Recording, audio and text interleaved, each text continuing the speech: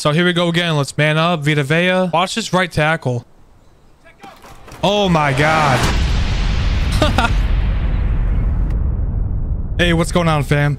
You know what it is. I'm bringing you another great blitz. And I really don't think it gets any easier than this. If you're new here, please consider hitting that sub button and join this awesome com community. Let's get into it. So I'm using the Tampa Bay Buccaneers defensive playbook because I think every, everything about their defense is just nasty. And for this play, we're in the 2-4-5 odd nickel formation. And the play we are going to take a look at is the Sam Mike 3 press. Now starting out, now when you look at this, we got one, two, three, four, five. They have five blockers and we have five rushers.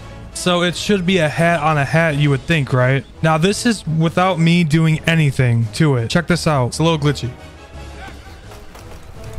Look at that.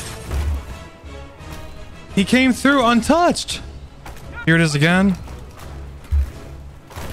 It's like the right tackle. He didn't know. He got a little confused right there. Now, when you start playing against people that who have uh, like really good right tackles, they'll more chances are they'll probably pick it up. So if I were to make an adjustment to that and they're still only blocking five, what I'm gonna do is I'm gonna pinch my D line. I'm gonna slant them out. I'm gonna take Vita Vea. I'm gonna man him up right there. Because what we're trying to do is we're trying to man manipulate the AI of the offense line a little bit. Let's try that one out. Look at that. Oh my gosh. Yo, so the right tackle, just from those small adjustments that we just did, the right tackle went from, okay, go ahead and just, just run right by me to not even being in the same atmosphere of being able to make the block. So here we go again. Let's pinch, shift out, man up, Vita Vea.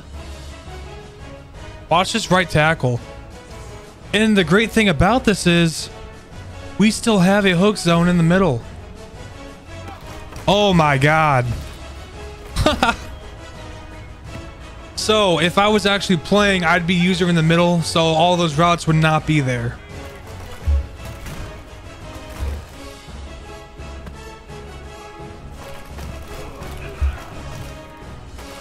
That's just a simple blitz against five man. And then if they have a tight end, you can always use the linebacker, make them like run up to the line of scrimmage and then back off real quick. That's another way to trick the AI. There's so many things that we can do and get into. And I'm going to be bringing that, all of this to you guys. Try it out. Let me know what you think. I'll catch you guys later.